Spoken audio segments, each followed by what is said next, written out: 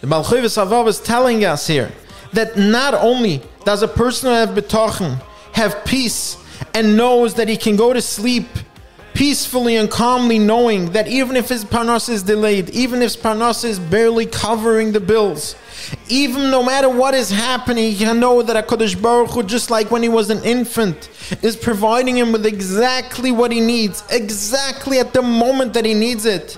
Not only that, if he lives through that Nisoyan with Bitachon, with a Simcha, then he'll get schar for it. But so much so that the Pasuk in Yirmiyah, where Yirmiyah is walking around the streets of Yerushalayim, Yerushalayim, the Churban Habayis, what does he say? Haloich v'karasa ba'ozne Yerushalayim, nema kiyom Hashem, zacharti lo chesed nu'urayich, ahavas kinulisoich. What brings us back home is the bitachon that Klal Yisrael had in the midbar, lechtech achrei ba'midbar b'eretz lo yizarua. A person wants to know what's the everlasting reward that a person can achieve in this world. Is a person that has bitachon no matter what the Nisoyan is. Is a person who has bitachon and walks around with a simcha no matter what is going on in life and knows everything that I need Hashem will take care of. But my job in this world is to be Boiteach Bashem.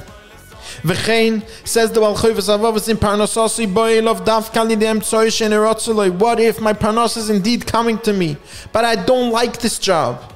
It's not coming through a job that I would have preferred or it's coming from a place that I wouldn't like, or a time that I wouldn't like. Or I don't like this employer. I don't like this shliach that is bringing me the money. There's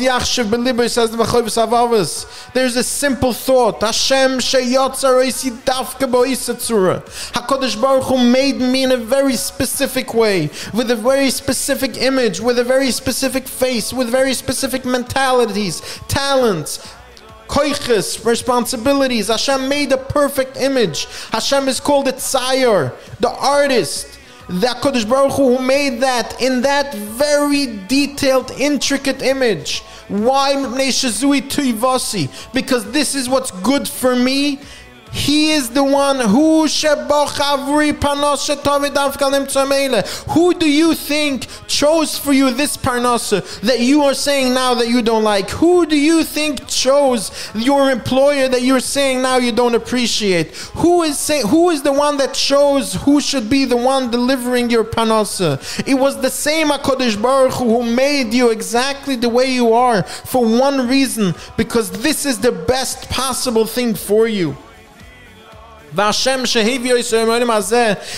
then brought me into this world in the exact spot that I was born, through the parents that I was born, and not through other people. He is the one that chose my parnasa.